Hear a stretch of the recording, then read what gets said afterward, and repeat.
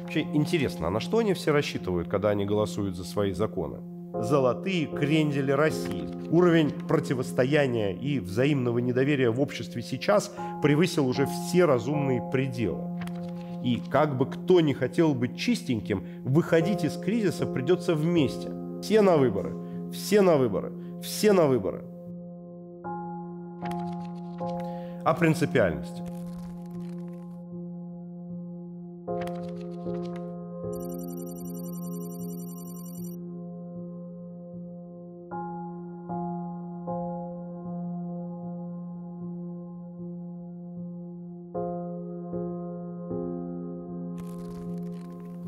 Начали войну. Я и мой друг, депутат Дмитрий Гудков. Но не подумайте, не друг с другом, а с коррупцией в Госдуме. Было это осенью 2011 года. Я никогда не считал жанр разоблачений своим. Когда толпа кричит «Ату! Распни его!», даже если по делу, я испытываю чувство брезгливости.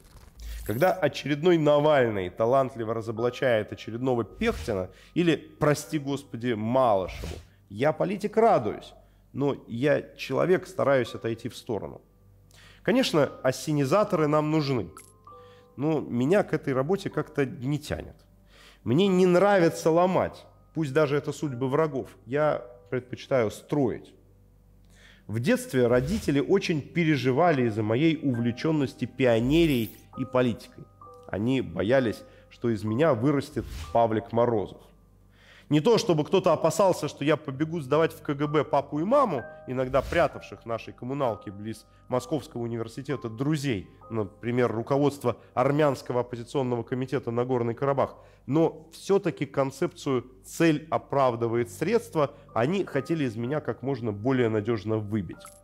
И поэтому мы ходили в кино смотреть знаменитые перестроечные «Плюмбум» и «Чучело», «Курьер» и «Покаяние». Почему-то особенно мне запал в душу фильм Говорухина, снятый по роману Агаты Кристи «Десять негритят». Там некто собирает на необитаемом острове 10 преступников, каждый из которых в свое время избежал правосудия. И убивает одного за одним, а они не могут понять, кто же это делает. В итоге оказывается, что их палач – бывший судья, который тоже когда-то, случайно, правда, совершил преступление, отправив на смерть невиновного. И перед тем, как застрелиться, он говорит, только тот имеет право судить других, кто в состоянии осудить себя сам. В другой книге сказано еще четче. Не судимте, да не судимы будете. Но в случае с Гудковым дело было в другом. Нельзя было оставить безнаказанным изгнание Геннадия Владимировича, отца Дмитрия, из Госдумы изгнание по наспех состряпанному несправедливому обвинению. Гудков-старший виновен в том, что занимался когда-то бизнесом. Ну, так ведь и многие единороссы-депутаты виновны в том же. А также еще в злостной неуплате налогов, участии в коррупционных схемах и использовании служебного положения в личных целях. Ну, в общем, в том, что жулики и воры. И мы с Дмитрием стали искать данные о самых отличившихся представителей «Единой России». Дмитрий собрал первую порцию данных, а я же придумал название компании «Золотые крендели России» по названию одного из предприятий, принадлежавших автору печально знаменитого закона о капитальных ремонтах жилых домов Алене Николаевой. Скандал получился колоссальный мы смогли наполнить тезис о жуликах и ворах реальными фактами и доказательствами. Какое-то время спустя нашу идею подхватила широкая интернет-общественность, уже возглавленная Алексеем Навальным, начав с одного из кренделей, видного деятеля «Единой России» Пехтина. И я вздохнул с облегчением, что больше мне этим заниматься не нужно. Важно отметить, что мы с Димой не ограничились партией власти. Мы работали честно однажды мне принесли солидную папку по одному депутату от КПРФ. Факты были убийственными. Он не только активно занимался бизнесом, но и был причастен к сомнительному захвату одного из московских предприятий. Прокуратуру не понесешь, но мерзко. Я отнес тогда эту папку Зюганову и попросил разобраться. Прошло совсем немного времени, и депутат добровольно сложил свой мандат, как и несколько единороссов. Но другие же все-таки стали сопротивляться. Но одна порция материалов меня очень огорчила. Она касалась депутата А, которому я симпатизировал, хоть он и был единороссом. Это был его первый созыв, и до Думы он возглавлял крупное предприятие. На самом деле такой заслуженный человек, спецназовец, прямой конкретный мужик. Настоящий русский офицер, служил всю жизнь Отечеству, выполнял присягу. И вот зачем-то полез в политику. Он мне говорил, ну, меня пацаны уважают, продвигают, ну, так может, хоть деньгами родному городу помогу, а то же разруха на каждом углу. Я там был у него не один раз и подтверждаю, и за углом тоже такая же разруха. Говорил он вообще вполне искренне и даже страстно, но при этом оказался видным фигурантом списка золотых кренделей, грубо нарушил закон, став депутатом и вовремя не оставив пост главы этого самого предприятия. Он много и неумело оправдывался, только ухудшая свою ситуацию. Тем более, что у его пацанов явно оказались влиятельные недоброжелатели, которые через сеть регулярно подкидывали дров в костер разоблачений. Я отыскал А в зале пленарных заседаний Думы. «Пойдем, рюмку чая выпьем, поговорим». Рядом с залом в закрытой для посторонних глаз зоне есть буфет – там проходят все ключевые консультации между депутатами разных фракций. Не знаю, есть ли там прослушка, если нет, я сильно разочарован ФСО. Ну, короче, туда мы и направились. Слушай, дорогой, плохие новости для тебя, говорю. Смотри, что прислали. И показываю А копии документов, грозящих изгнанием с позором из Думы. Ну, конечно, если на то будет воля администрации президента я мог бы ему ничего и не показывать. Это ни на что бы не повлияло. Просто по-человечески происходящее было мне неприятно. И А реагирует обреченно. Ну, пусть юристы разъясняют. Мне уже все равно. И тяжело вздыхает. Илья, ну вот ты политик у нас продолжает, а по моему глубокому убеждению, любой парламентарий автоматически становится политиком, но единороссам удобно считать себя ничего не решающими винтиками. И, в принципе, это близко к правде, потому что их мнение начальники явно спросят даже после моего. Ну так вот скажи, ну за что мне все это? Вообще интересно, а на что они все рассчитывают, когда они голосуют за свои законы? Что про то, как и на какую жали кнопку никто не узнает – ну, вот это я стал объяснять А. Ему просто надо было выговориться. И моя жилетка тут оказалась самой подходящей. «За что мне все это?» — повторил он. «Ну я же был уважаемым человеком. Меня любили. Я приносил в город деньги. Сын мной гордился». Мрачно глядя в чашку, А выпил. «А сейчас? Да я домой стараюсь ездить реже. Жена запилила. Зачем ты в этой партии за все это голосуешь? Я про себя отметил, что он не первый день в ЕР, но региональные боссы редко отождествляют себя с голосованием их собственной партии в Госдуме. «Сына избили», — сказал он главную новость. «Он боксер вообще-то, а тут начали дразнить всем классом. О, сын жулика и вора! Ну, он в драку. Страница меня начал, на соревнования один ходит. Представляешь? Ну, какой я жулик и вор? Я же офицер. Ну, слушай, так уходи, чего ты сидишь тут? А хлопнешь дверью, ну хоть восстановишь уважение. У нас же народ обиженных и раскаявшихся любит. Вспоминаю я Ельцина и Ксюшу Собчак. Не могу я. Пацаны не поймут. Ну, они же вписывались, договаривались. Приоткрывает А единороссовскую кухню выборов. Не знаю насчет воровства, но что-то жульническое в этом точно есть. И знаешь, что самое обидное? Никому по морде дать-то не могу. Ведь стою утром перед зеркалом, и кулаки сжимаются. Я ясно вижу, а хороший человек, но слабый, хоть и офицер. У него много для себя самооправданий. И они работают, пока система стабильная. Но как только она начнет рушиться, у него появятся другие оправдания, почему надо перейти на сторону новой силы. Я хорошо это понимаю. Ничего нового в этом нет. Особенно если учесть, что с «Единой Россией» его не связывает вообще никакая идея. То есть если вот эта новая власть не станет сильно задевать его деловые и жизненные интересы, переметнется тут же. Возможно, даже предложит ей какие-нибудь выгодные ходы. История не знает примеров успешных революций и мирных преобразований, которые бы делали только люди, не связанные с действующими элитами. В какой-то момент обязательно появлялись спецы, перешедшие на сторону победителей. Не хочу называть всех их крысами, но именно они первыми бегут с тонущего корабля и ищут себе новое судно для путешествий. Вот и таким как А, конечно, надо дать шанс перейти на сторону добра. Людей, оправдывающих себя лучшими побуждениями, вообще очень много. Я категорически против всепрощения, но и национально-партийное шельмование тоже недопустимо. Его не должно быть. Пусть каждый решает, с кем он. Поддерживает он эту власть или за новую систему, за власть без коррупции. Повторяю, я далек от идей всепрощения. Урок 91 -го года у нас перед глазами. Люди хотели избавиться от прогнившей лживой элиты, прикрывавшейся коммунистическими идеалами, но сохранить великую страну. В итоге СССР-то развалили, а элита осталась. Ее самую идейную и наименее гибкую часть система вытолкнула, а остальные отказались от этических ограничителей и возглавили процесс приватизации народных богатств. Тогда еще можно было повернуть ход истории, но для этого пришлось бы провести иллюстрацию, ограничить в правах старую элиту. Подчеркну, это не означает огульные посадки и охоту на ведьм.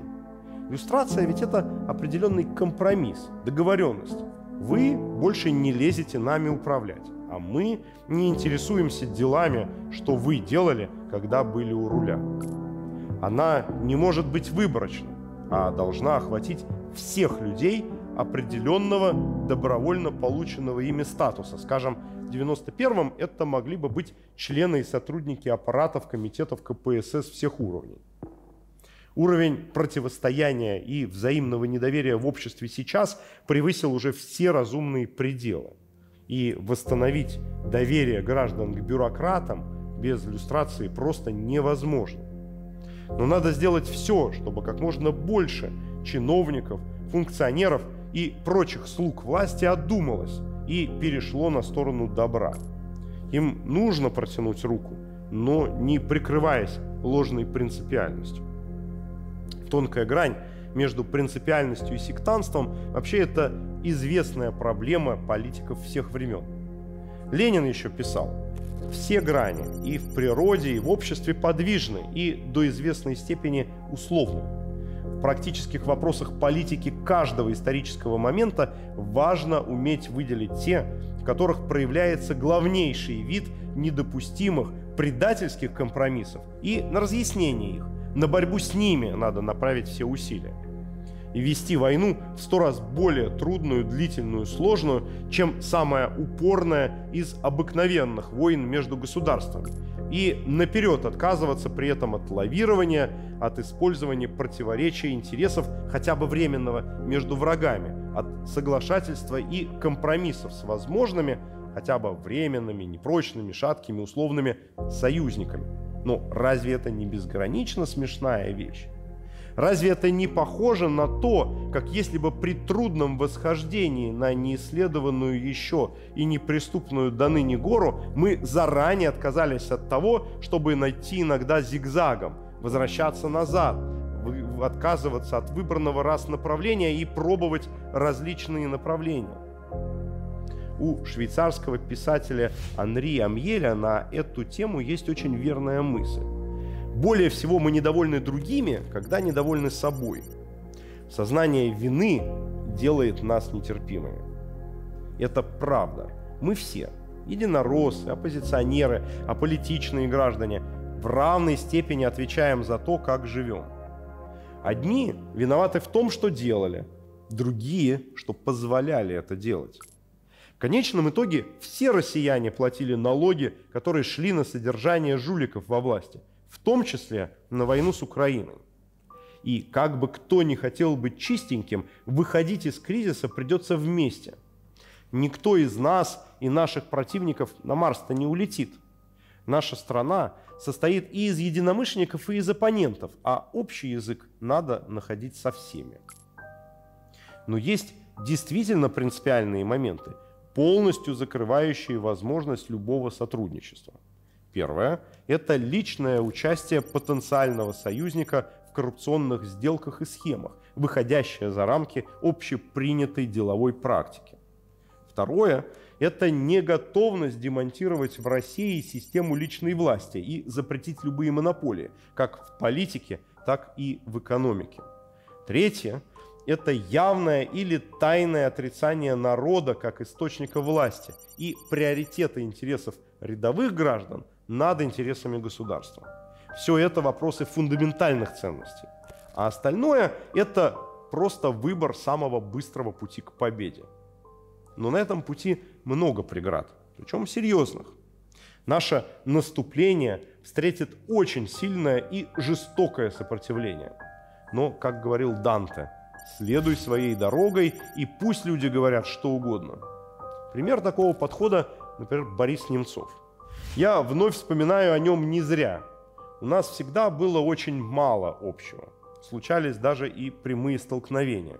И обвинения с его стороны, которые заканчивались прояснением отношений. Не стану судить о глубине и искренности его политических убеждений, хотя в его биографии были очень разные страницы но все-таки явных отступлений от своих взглядов я не наблюдал. Он был последователен в своих политических и практических действиях. То есть был честный и искренний человек. И вот за это я Бориса очень уважаю. Но это никак не мешает мне критиковать его взгляды и поступки. Я это делал, делаю и буду делать нельзя было соглашаться на перенос первого нашего митинга с площади революции на Болотную, а обосновал этот перенос прежде всего Немцов. Тем, что якобы у памятника Марксу мало места и может возникнуть давка, хотя места там море и прекрасно хватило бы всем нашим сторонникам.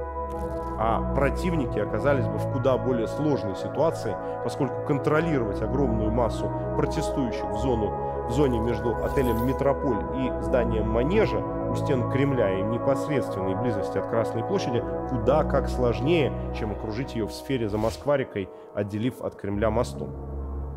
Что побудило Немцова тогда согласиться на Болотную и убедить в этом большинство оргкомитета? Очевидно, что страх перед развитием событий, которые он не мог бы не предсказать, не контролировать. Ну, конечно, также и желание возглавить процесс, в стране от которого он оказался в начале декабря 2011 года. В четвертом году он был в Киеве на Майдане и выступал там. И явно был вдохновлен тем, что увидел. Но одно дело восхититься, будучи гостем революционных событий в другой стране, и совсем другое – осуществить то же самое у себя дома. Это нерешительность в отношении политических действий, направленных на взятие власти, важный фрагмент его мировоззрения и вообще мировоззрения многих современных либералов. Бориса устраивал протест, но он не был готов бороться и побеждать революционным путем. Его радовало, что на митинг пришло много тысяч людей, но он не мог вообразить, что они захватят власть. Он был готов и умел торговаться за позиции и уступки, но был не готов к прямой, неуправляемой политической деятельности масс, которая неизбежно оказалась бы жесткой, а может быть и насильственной. Но надо отдать должное, ему хватало принципиальности, убежденности и отваги идти своей дорогой, кто бы что ни говорил, последовательно и ярко выступать против политика Путина и его группы. Что в конечном итоге и привело к его трагической гибели. И проявляя принципиальность по отношению к Борису, скажу прямо, эта гибель для меня такая же беда и трагедия, как и для его горячих сторонников. Когда въезжаешь в Нижегородскую область, невольно удивляешься отличному качеству шоссе, ведущего к ее столице. И шофер, если он из местных, никогда не забудет пояснить, о, эту дорогу построил Немцов. Я вспоминаю об этом не зря. Потому что эта дорога стала для меня одним из символов возможных перемен в бескрайней стране, для которой дороги – это не только образ, но и кровеносная система, по которой идеи распространяются в умах. Лето 2012 года. Приближаются выборы в Координационный совет оппозиции. О связанных с ними интригах я уже писал. Напомню, что я видел этот совет рабочим штабом оппозиции, боевым исполнительным, если угодно, распорядительным органом, работающим на нашу победу, то есть на смену власти в стране. А в крайнем случае на вхождение несистемной оппозиции, правой и левой, во власть. А Борис Немцов, Алексей Навальный и другие либералы хотели учредить что-то вроде оппозиционного квазипарламента, такого совещательного органа. Думаю, сегодня я никого не обижу, если назову этот формат говорильни. История столетней давности показала провал учредительного собрания. Неудачей стал и Координационный совет. Так или иначе, но идею его создания и конструкцию я согласовал с находящимися под арестом Удальцовым и Навальным, прям в изоляторе. Втроем мы тогда согласились на концепцию штаба революции я стремился распространить деятельность Совета на всю страну и обеспечить представительство регионов. То есть принципиально важно было, с одной стороны, провести голосование в Совет в большинстве субъектов Федерации, а с другой – создать команду, работающую в нем на смену власти. Чтобы это обеспечить, я предложил устроить совместный для всех кандидатов агитационный тур по большей части российских регионов – я вообще очень люблю путешествовать на машине, где я только на ней не ездил. От Москвы до Красноярска доезжал. Ездил и отдельно в Иркутске, и в Якутске, ну, везде. Я знал и знаю огромное количество путей из пункта А в пункт Б не по трассе, где ждет полиция, а в объезд. Отсюда, собственно, и проросла идея автопробега. Изначальный замысел был в том, чтобы арендовать большой автобус красочно и привлекательно его оформить, посадить в него ярких, убежденных, заведенных, умеющих говорить и желающих работать агитаторов, кандидатов на выборах в Координационный совет и ездить в нем от точки к точке, как такое мобильное политическое шоу, на которое все будут забегаться, где идет публичная дискуссия и, собственно, рождается команда. А сопровождал автобус, чтобы кавалькада машин региональных активистов и автобусную агитбригаду, и людей на машинах время от времени должны сменять другие. Ну и так, чтобы с шумом и помпой. Вот так мы должны были привлечь внимание к выборам в Совет. Ну а заодно вообще продвинуть тему оппозиции, честных и справедливых выборов и вообще всей протестной повестки еще тогда актуальны. Я предложил коллегам по комитету оппозиции поучаствовать в этом проекте деньгами. Но Никто не согласился. И финансирую я его сам. Конечном итоге я депутат, у меня хорошая зарплата, когда-то занимался бизнесом, были небольшие сбережения, ну а никакие фантастические суммы нам и не были нужны. Между тем власти, узнав о проекте автопробега, решили меня наказать. Я тогда работал над созданием и финансированием работы лагеря волонтеров, ликвидаторов наводнения в Крымске, что на Кубани. И все пожертвования шли через мои электронные кошельки. Яндекс Деньги, PayPal и так далее. Много-много-много маленьких взносов. Это вообще был первый пример большого краудфандинга оппозиции в России. И собрали мы гораздо больше, чем кто-либо еще, причем очень маленькими суммами. Всего порядка 600 тысяч долларов. Это было очень много по тем временам, а чиновники сказали, а мы вот не уверены, а нет ли тут аферы. И Росфинмониторинг, то есть государственное агентство, занимающееся борьбой с финансовыми преступлениями и отмыванием денег, замораживает мои счета. Строго говоря, они имеют на это право.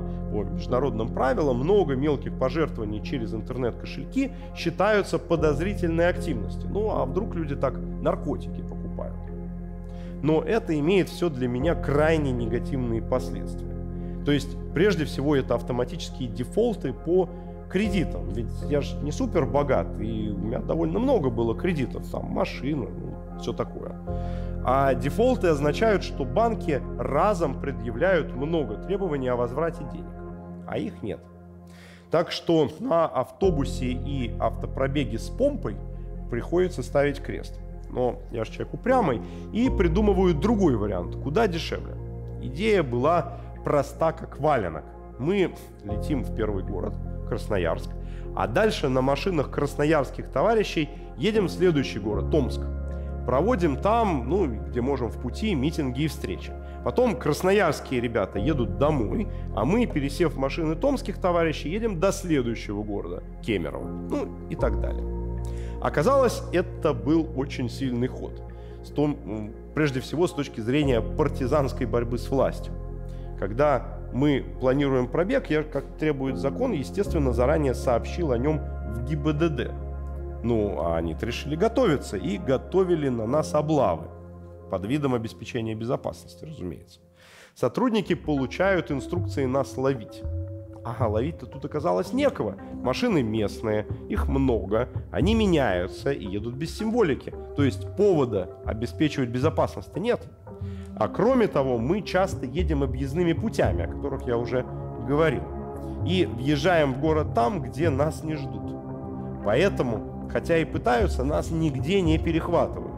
И так мы за месяц проезжаем 15 тысяч километров и 80 городов.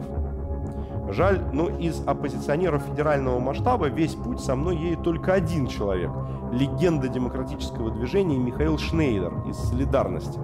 И двое еще то приезжают, то уезжают. Это были Немцов и Удальцов, которые очень хорошо понимали важность работы в регионах.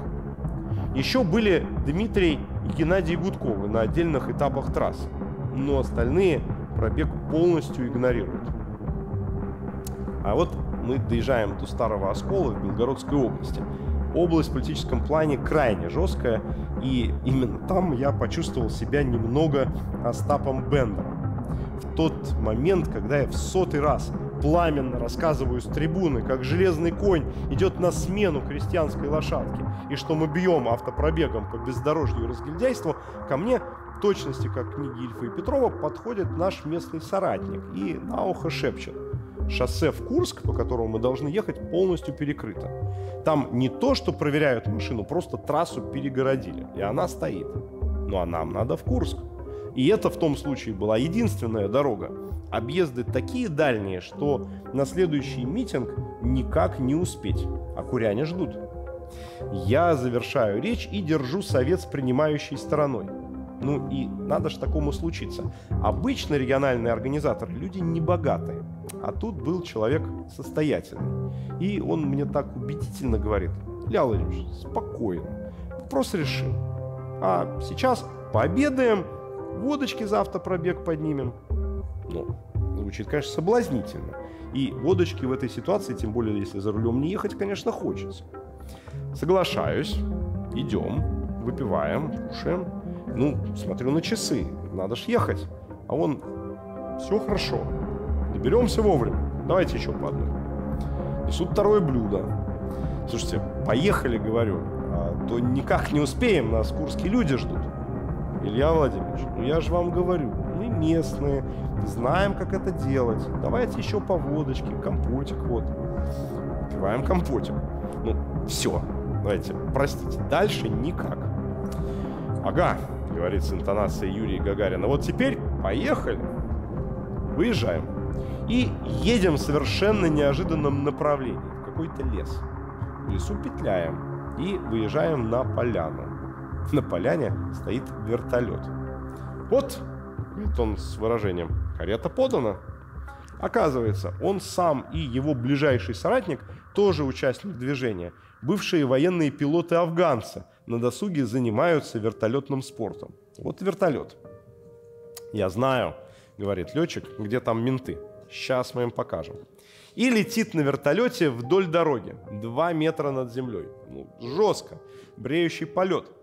Он же военный летчик, знает как надо, но страшно жуть. И делает два захода на ментов. А те в рассыпную от машин по кюветам. Вот, говорит, теперь летим в Курск. И пролетаем в итоге тютелька в тютельку. Больше нас ловить не пытаются. Дальше мы из Курска в Брянск, из Брянска в Смоленск, дальше Псков, Питер, Новгород, оттуда в Тверь, а из Твери уже в Москву. И в каждом городе митинг. От нескольких сот до несколько тысяч человек. Всюду по-разному. Очень много зависит от местных организаторов. Кто-то больше может собрать, кто-то меньше. Где-то провалы, но где-то наоборот неожиданный успех. И всюду наша задача рассказать про выборы в Координационный совет, про его суть, про события в Москве и в движении. И все на выборы, все на выборы, все на выборы. Для людей в регионах это много значит. А москвичи, как говорится, кладут с прибором на всю эту региональную тематику. И в автопробег не едут. И вообще этот проект никак и никто в так называемых больших СМИ не освещает. Вся оппозиционная пресса молчит. Хотя это единственная акция белой ленты, нацеленная на продвижение наших идей и охватившая подавляющее большинство российских территорий. Для нас вообще это огромный и важный опыт. Но либералы тем временем все равно сидят в Москве и решают вопрос. Ну, а итоги вы уже знаете. Эта глава вообще называется о принципиальности. Как видите, я принципиально не ставлю им оценку. Ее уже поставили российская политика и еще поставит российская история. Идейно им близкому Борису Немцову, с которым был с нами, свою, а вот московским либералам свою, движению «Белая лента» свою. Но главный разбор полетов проведут все-таки граждане страны после смены власти.